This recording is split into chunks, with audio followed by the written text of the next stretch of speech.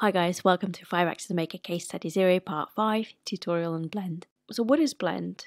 Well, Blend is a full 5-axis simultaneous finishing strategy in Fusion 360 that works with NURBS.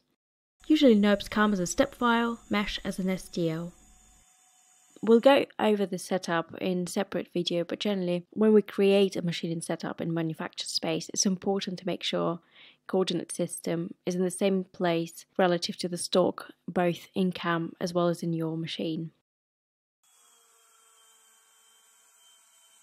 Blend is normally invisible. To be able to see blend in text commands type cam dot beta mode slash on. Make sure to type as in text, not as a Python. This will unlock some of the invisible options. Under 3D strategies, select blend.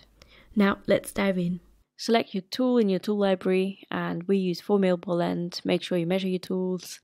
Start with conservative speeds that later on you can dial in. Geometry tab, you've got drive surfaces and drive curves. Select a surface, make sure it's a NURB surface, not a mesh. Select two edge curves.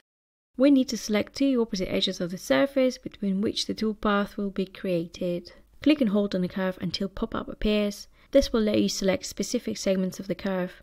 Once done, press the green plus to add this as a first curve to your selection. Repeat for the second curve. Tool orientation, Z, X axes, we can use model coordinate system or we can use an edge to specify arbitrary direction. Origin must be set up as model origin. It is very important to set tool orientation right. It isn't going to affect your tool orientation during the cut, but it affects how tool leads in and out. Next, onto clearance heights. As long as the top plane above the surface and the bottom one is below, you're good for this operation. Passes tab, we use bidirectional step over, both ways direction. Very important to turn on multi-axis. Minimum and maximum tilt is a value relative to coordinate system and effectively it's relative to Z orientation. This is something that can be changed to avoid collision. Forward and sideways tilt is an inclination relative to the surface, which discussed in flow tutorial. Linking.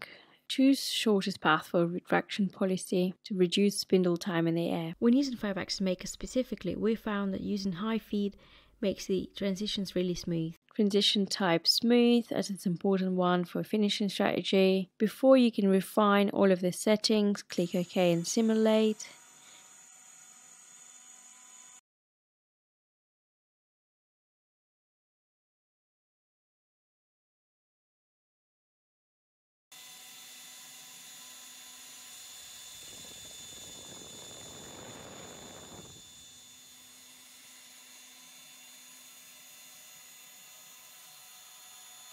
And this is a very good example of controlling minimum and maximum tilt. We had real collision during test run, so we ended up limiting minimum and maximum tilt between 0 and 70 degrees. Tilt of the tool is relative to coordinate system, it's relative to Z orientation, so effectively what it does, it limits tilt to 70 degrees to avoid the collision it starts with zero and as it as it climbs down you can see that it finishes at 70 degrees.